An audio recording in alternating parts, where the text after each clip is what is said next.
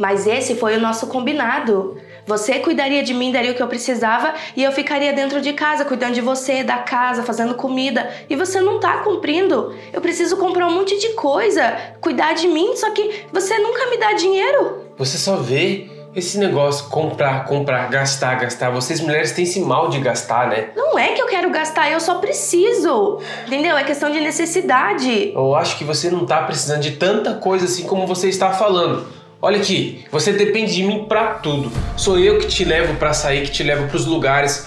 Sou eu que levo você. Você tem que entender isso. Eu dirijo, você não tem carteira, tá entendendo? Sou eu, e eu que pago as contas dessa casa. Eu que administro tudo. E eu não vejo não. nada ficar faltando do jeito que você está falando. É verdade. Eu acho que você devia ficar de boa e parar é de exigir. É verdade. É você que paga tudo, é você que cuida de tudo mesmo. É, que bom que você lembrou.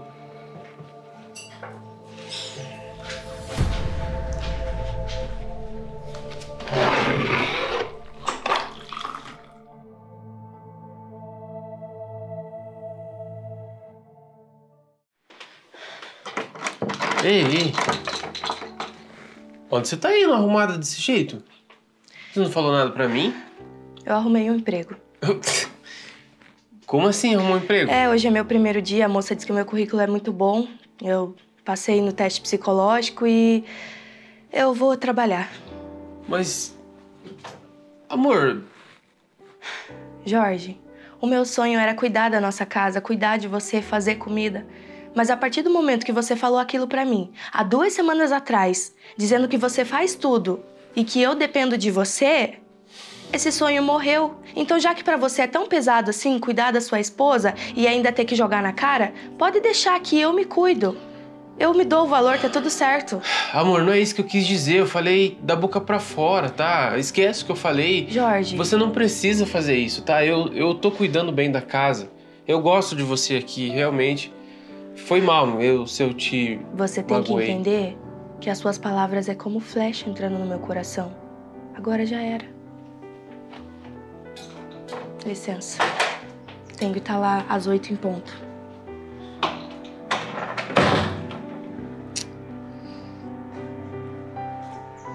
Nossa. Nossa, vai ser estranho isso agora. Eu não queria que ela trabalhasse.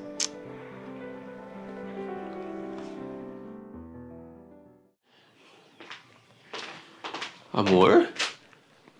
Nossa, que lindo que você tá. Vem cá. Nossa, e essa bolsa aí? É nova? Nossa, você tá é. tão diferente. Ah, você comprou um óculos. Que bonito que você ficou de óculos. Obrigada. E essa blusinha também, que linda. É, pois é. é tudo novo? É tudo novo.